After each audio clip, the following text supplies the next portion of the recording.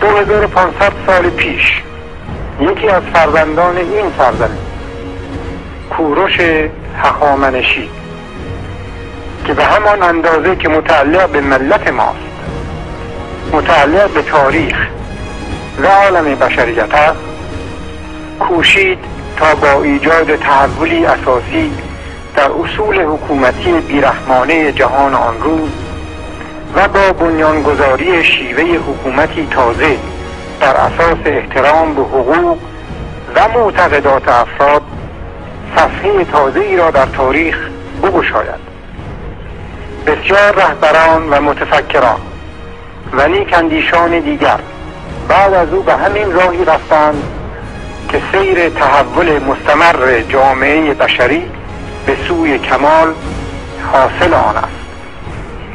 آرزو کنیم که با هم فکری و همگامی همه نیکندیشان جهان بار دیگر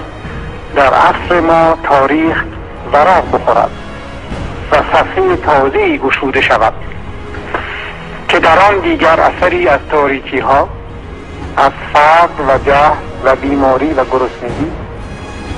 از تبعیض ها و از بیعدالتی ها نباشد. آرزو کنیم که فرزندان ما برای همیشه در جهانی فارغ از بین